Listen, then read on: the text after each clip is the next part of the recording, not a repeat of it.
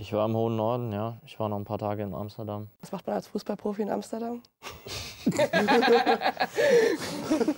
Gewisse Dinge kann man ähm, natürlich nicht machen als Fußballprofi. ähm, die fallen dann weg.